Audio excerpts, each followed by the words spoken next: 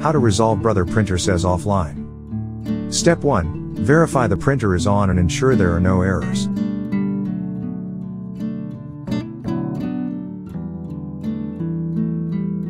Step 2. Ensure the printer is connected to the system.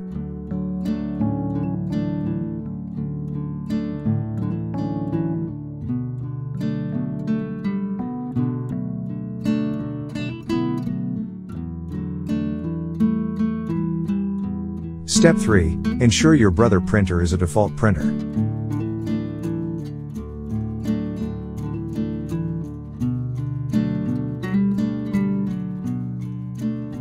Step 4. Cancel all print jobs of your printer.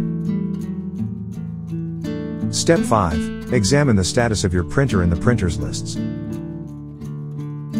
Step 6. Ensure the device manager detects your brother printer.